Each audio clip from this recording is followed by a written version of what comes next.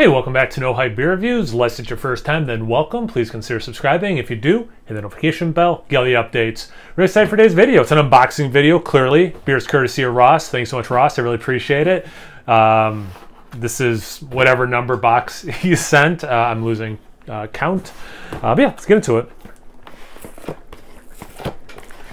I just put some lotion on my hands, so it's like slipping.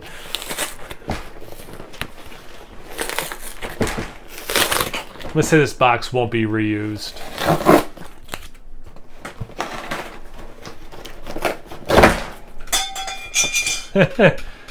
well, I know what this one is. Let's do this actually. Will they sit up like this? Oh, this one's upside down now. It's okay. it's intact. It's intact. Everything is fine. of course, I opened it on the wrong side, like an animal. All right, so anyway, this is uh, Bourbon County brand double barrel stout, uh, a stout aged in 11 year old Elijah Craig bourbon barrels, and then aged in 12 year old Elijah Craig bourbon barrels. Just gonna keep the bottle out, but it's this one uh, from 2020. Oh man. Oh, which I have reviewed. Uh, if you're interested, go back and watch that review if, if you uh, haven't seen it already. Uh, so obviously, I'm stoked to have another one. All right.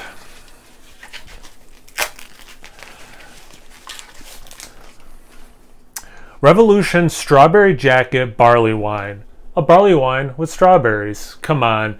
Um, yes, Strawberry Jacket, a slightly drier blend of bourbon and rye whiskey barrel barreled I don't know, barrel uh, English barley wine aged 18 months provides a base for the delicate nuances of fresh strawberry to shine while retaining the same balance we expect of our beloved straight jacket. Reminiscing, uh, reminiscent, reminiscent a fresh, juicy strawberry atop a creme brulee, this sipper can can the font is so tiny. Uh, the sipper can accompany dessert or stand on its own, enjoy now or store cold.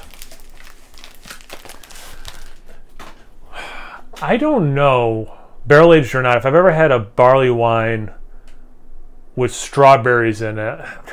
Like I've had barley wines maybe with like grape juice or um, you know maybe figs or something, but I'm trying to think.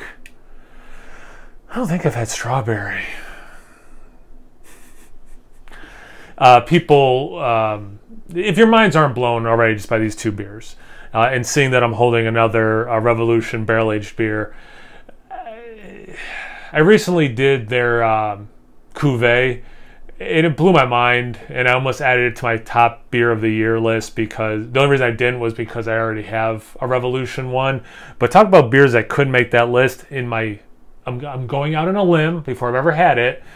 Could be this one. Supermassive Cafe Deth. I know you think it's pronounced death, but the, at the brewery they call it Deeth, uh, like rhymes with teeth.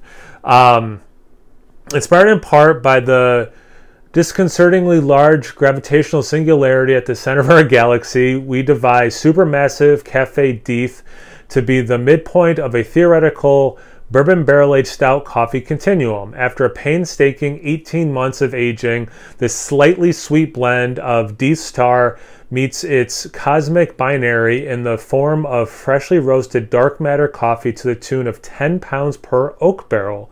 Enjoy immediately or store cold. Love their can art.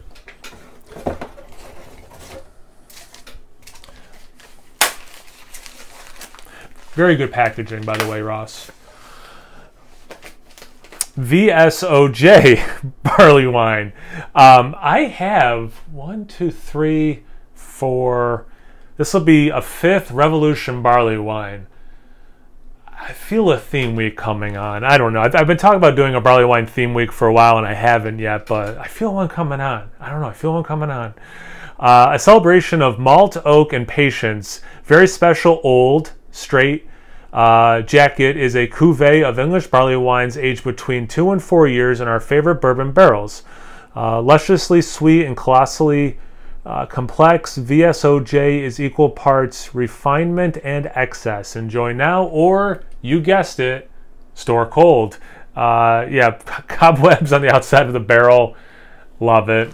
Love it.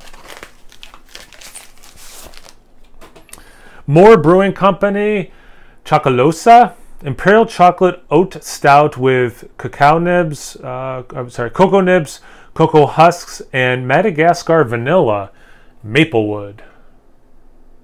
You know that sounds up my alley. like, like it's just, um, you know, all right, get into my head and then procure certain uh, beers for me uh, this is this is a pretty good representation uh, of the styles I enjoy. Ah, okay. Let me make sure I don't do this the wrong way because last time he sent a couple mystery beers and I opened them like an animal. And, although this box I opened like an animal too, and uh, at least one of them I ripped the mystery label off and just thought it was a regular beer he wanted me to review. I didn't realize it was a mystery beer. So let me make sure I don't accidentally rip off the covering. And then we have two 16 ounce cans, which are obviously going to be double dry hop, double IPAs with Citra, Mosaic, and Galaxy. nah, who knows? Ross, man, thank you so much. Thank you. Thank you. Not only are you extremely handsome with really cool uh, glasses, you also sent me a bunch of really awesome freaking beer dude. So thank you so much. Hope you're having a great day. Uh, hope you guys at home are having a great day as well. Um, make sure you comment if you've had any of these beers before. If you think I should do a barley wine theme week, if that sounds like uh, I would kill myself doing that. Uh, when I should do these mystery beers, I don't know. Anything, everything. Comment section below. Let's get a conversation going. Once you're done doing that, make sure you check me out on Instagram and Untappd. It's no hype beer reviews at both those places. So always please like, comment, subscribe, and most importantly, imbibe. Cheers, everyone.